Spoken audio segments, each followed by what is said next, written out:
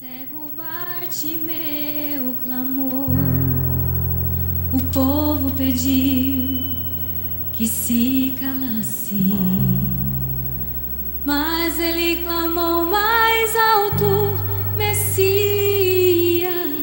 tenha misericórdia de mim. O cego Bartimeu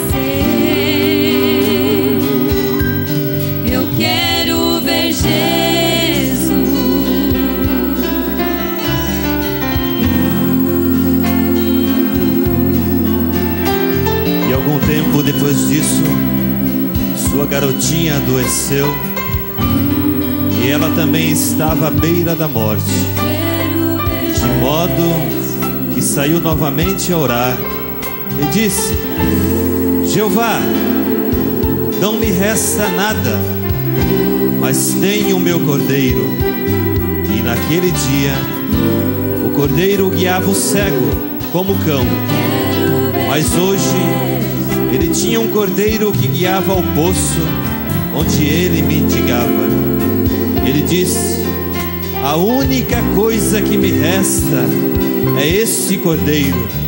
E disse: Se tu permitires que a minha garotinha viva, ainda que não tenha visto, mas ela é meu consolo, Senhor, quando afago com os seus cabelos as minhas mãos.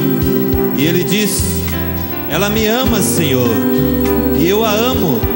E disse: Jeová, se tu permitires que ela viva, eu te darei o meu cordeiro como sacrifício. E a menina ficou boa. E aqui estava ele indo ao templo com o cordeiro. E o sacerdote pôs-se de pé na escada e disse: Cego Bartimeu, aonde tu vais nesta manhã? E ele disse: Eu vou ao cordeiro oferecer. Eu vou ao templo oferecer este cordeiro como sacrifício. E ele disse: Tu não podes fazer isso, cego Bartimeu. Eu te darei dinheiro. E tu vai ao estábulo e compra um cordeiro e oferece. E ele disse: Eu não prometi ao Senhor um cordeiro. Eu prometi a Deus esse cordeiro. E disse: Mas cego Bartimeu, tu não podes sacrificar este cordeiro, porque este cordeiro são os teus olhos. E ele disse: Se eu obedecer minha promessa a Jeová, ele proverá para mim um cordeiro para os meus olhos. E nesta manhã fria, eu digo, nesta noite fria, um cordeiro tinha sido provido para os olhos do cego Bartimeu. Traze-o aqui. Ele pôs sua mão sobre os olhos do cordeiro, e aquele cordeiro provido por Deus abriu os seus olhos.